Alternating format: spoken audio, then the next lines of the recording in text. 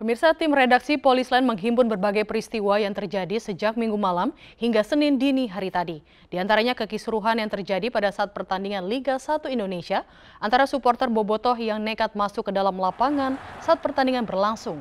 Selanjutnya dari kota Yogyakarta, sebuah mobil meledak dan terbakar di depan SPBU Sleman. Sementara itu di Medan penjamret nyaris dihakimi warga.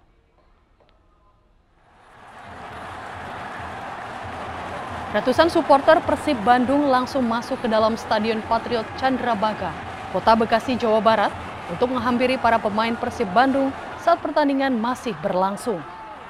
Tidak hanya itu, sejumlah supporter meluapkan kekecewaannya dengan melemparkan botol dan kembang api ke dalam lapangan.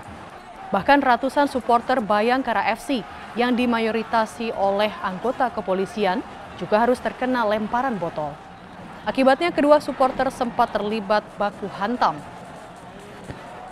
Aksi para supporter dipicu karena kecewa dengan tim kebanggaannya kalah dengan tim kesebelasan Bayangkara FC dengan skor 2-0.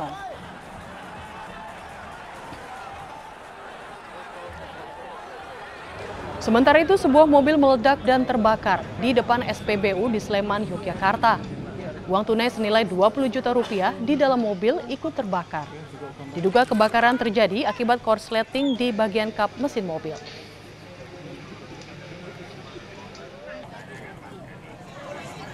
Di Medan, Sumatera Utara, korban Wiwi warga Dusun Lantasan Lama mengamuk di warung saat pelaku tidak mengaku telah merampas ponsel.